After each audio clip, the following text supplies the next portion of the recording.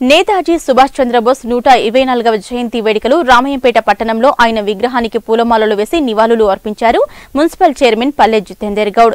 అనంతరం మాజీ ZPTC Saraf Yadagiri municipal chairman Palle Jitender గౌడ్లు మాట్లాడుతూ నేతాజీ సుభాష్ చంద్రబోస్ సూచించిన మార్గంలో యువత నడుచుకోవాలని ఆయన ఆశయ సాధన కోసం ప్రతి ఒక్క యువకుడు కంకణబద్దులు కావాలని సూచించారు. ఈ కార్యక్రమంలో మున్సిపల్ చైర్మన్ పల్లె జితేందర్ గౌడ్ మాజీ జడ్పీటీసీ సరాఫ్ యాదగిరి మున్సిపల్ కౌన్సిలర్లు దేమయ్య యాదగిరి తదితరులు పాల్గొన్నారు. ఇక్కడ నేతాజీ సుభాష్ చంద్రబోస్ యువజన సభ్యులు ఈ కార్యక్రమం నిర్వహించిన వారికి నా ప్రత్యేక అభినందన తెలియపరుస్తున్నాను. మరి ఒరిస్సా రాష్ట్రంలో కటక్ అనే నగరంలో జన్మించిన నేతాజీ సుభాష్ చంద్రబోస్ మరి ఫార్వర్డ్ బ్లాక్ అనే ఒక పార్టీని ఏర్పాటు చేసి మరి స్వాతంత్ర కొరకు గాంధీతో పోరాటం చేయడం జరిగింది. నూట ఇరవై నాలుగవ జయంతి సందర్భంగా ఇక్కడికి వచ్చి పూలమాల వేయడం జరిగింది.